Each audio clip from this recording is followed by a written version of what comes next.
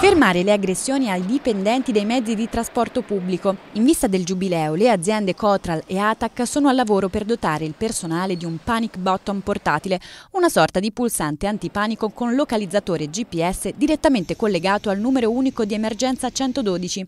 Tra le nuove misure anche l'installazione di bodycam a controllori e autisti fondamentali per l'identificazione degli aggressori.